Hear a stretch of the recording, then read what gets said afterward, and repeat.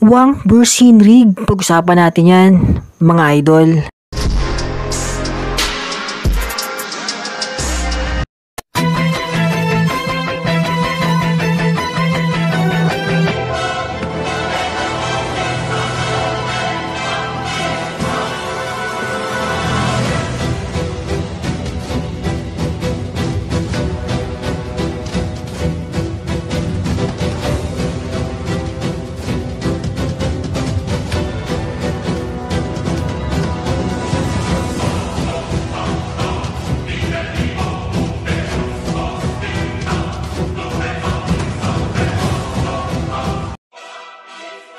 At ngayong araw nga mga Lodi, itatalakayin natin ang laban ng Hinrig at Wang. Pero bago nga umpisahan, ililinawin ko lang na hindi pa po ito official at ito ay isang fanfiction pa lamang na sinulat ni Boy Anime for entertainment purposes at kung interesado ka nga, eh tara na, umpisahan na natin to. At dito nga yan nagumpisa sa pag-uusap ni Wang at Hinrig at sabi nga ni Wang na tignan mo nga naman, sumasang-ayon sa atin ang kapalaran. Dahil ang Joker Spider nga daw ay naglalaro na sa kanilang mga kamay. At dahil nga daw dyan, eh pwede silang mag-jilax-jilax o mag-enjoy sa mga pagkakataong ito. At napaka-interesante nga daw kung sino ang mabubuhay at mamamatay at dagdag pa ni Wang na gusto mo bang magpustahan tayo kung sino ang matitira sa dulo? At sagot nga ni Henrig na malakas ang Joker pero mamamatay siya sa lakas ng Spider. At sagot naman ni Wang na kung ganun daw pala, nasa Spider pupusta itong si Henrig. At sabi niya pa na kung ganun, eh wala na akong pagpipilian kundi sa Joker, tumaya. At dyan ngay bigling nabaling sa Haley family ang kanilang usapan dahil sabi nga ni Henrig na masyado nga daw mailap ang pinuno ng Haley family na si Morena Prudo. At kung sakali nga daw na hindi pa rin nila mahanap ang hideout ng Haley family, eh maaaring tumaas ng tumaas nga daw ang level ng mga tauhan ni Morena. Kaya kung tatagal nga daw ng tatagal, eh mas lalo silang mahihirapan sa mga tauhan ng Haley family dahil magtataasan nga ang mga level nito kaya dapat nga daw, eh mahanap na nila ang hideout nito, lalo na't sa madaling panahon. At sagot naman ni Wang, na okay lang naman daw yan dahil hindi naman daw sila ang mahihirapan. Pero sagot nga ni Henrig na masyado ka na yatang dumedepende sa Joker at Spider na baka nakakalimutan mo na mga tuso ang mga nilalang na yan. At baka bukas makalawa nga daw, ikalaban na nila ang mga yan. At sagot nga ni Wang, na alam ko dahil kahit tayong dalawa naman, eh nakatakda rin na maglaban.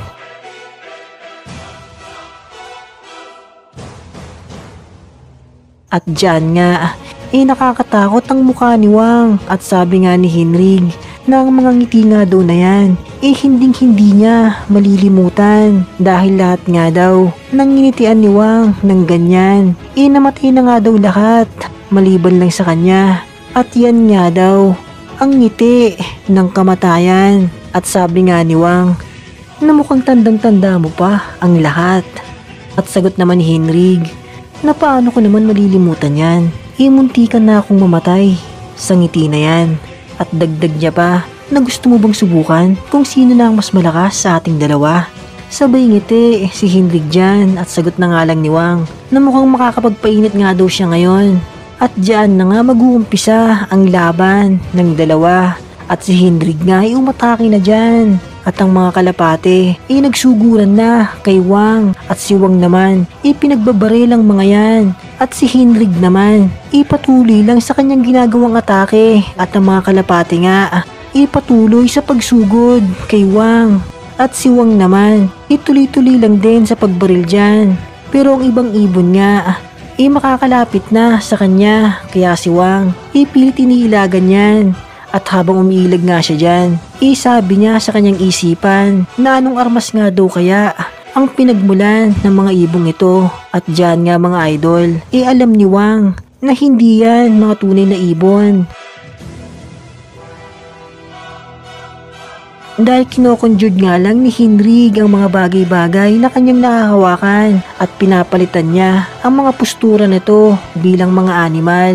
At diyan nga, ibigla na lang may mga naglabasan sa bunganga ng mga ibon ni Hinrig. At yan nga yung mga bala ng mga barel. At niraratat nga niyan si Wang na animoy. Binabaril siya ng mga ibon. At diyan nga, ipinapakita lang na mga baril pala talaga ang mga ibon na yan. At pinalitan nga lang ni Hinrig ang mga postura niyan at ginawang mga ibon dahil na rin sa kanyang nen ability. At diyan nga mga idol, eh nahihirapan na si Wang dahil tuloy-tuloy nga ang banat ng mga ibon at hindi rin siya makabawi ng putok dahil ang mga ibon ay padami ng padami at sabay-sabay siyang niraratrat ng mga yan. Hanggang hindi nga namalayan ni Wang na meron na palang kalapate ang nakalapit sa kanya at sabi nga ni Henrig, nahuli ka balbon at nahuli na nga ng mga posas na ibon si Wang at hindi na nga siya makagalaw dyan. At ang maraming ibon naman, isabay-sabay na diyang umatake at pinagbabaril nga nila si Ken Wang. At si Wang naman, ay biglang nabalutan dyan ng napakalakas na aura at hindi na nga siya tinatablan ng mga bala dahil ang kanyang buong katawan ay pinoprotektahan ng kanyang nen. At sa isang iglap nga, eh nandyan na siya sa harap ni Henrig at sinuntok nga niya yan ng sobrang lakas. Pero nasalag naman yan ni Henrig. Pero talsik pa rin siya dyan sa lakas. At si Wang nga, eh bigla ulit tumatake dyan. Ng sobrang bilis. Kaya si Henrig, eh ginamit niya ulit ang kanyang mga kalapating posas para mahuli si Ken Wang. Pero sabi nga dyan ni Wang, na wala ka bang kadala-dala at hindi na nga daw siya tatablan ng mga posas na ibon na yan dahil lang nen nga daw ang makakasira sa kapwanin at sagot nga ni Henrig na alam niya daw yun at ang nen nga daw niya ang sisira sa nen ni Wang. Pero sagot naman ni Wang na sige tignan na lang natin at dyan nga Inagpatuloy ng umatake si Wang at kinakounter nga niya ang mga ibong posas. Pero ang mga ibong barel, ipatuloy pa rin dyan sa pagdatrat sa kanya. Kaya ang ginawa ni Wang, ipinuntirya niya si Hinrig at pinagbabaril nga niya yan. Kaya si Hinrig, iumiwas agad dyan para makailag. At si Wang naman, ipatuloy sa pagbanat dyan. At wala nga siyang pakialam sa mga ibon ni Henrig. Kahit na pinapaulanan pa siya niyan dahil nababalutan nga siya ng kanyang nen kaya walang talab sa kanya ang mga baril na ibon. At si Henrig naman ay nag-iisip dyan ng magandang plano kung paano niya mahuhuli si Ken Wang. At si Wang naman ay matamlay kay Henrig at sabi niya nasaan daw ba ito pupunta dahil si Henrig nga ay tumatakbo papalayo at patuloy lang sa pag-iwas sa kanyang banat. Kaya dyan, isinalubong niya si Henrig at babayuhin nga niya ng sobrang lakas. Pero nakaiwas naman si Henrig at nakatalon nga siya paitaas at dyan nga. Eh siya naman ang babanat kay Wang at pinagtatadyakan nga niya yan mula sa itaas na bahagi. At si Wang nga, eh medyo napasalag dyan dahil sunod-sunod nga. Dahil sunod-sunod nga ang banat ni Henrig.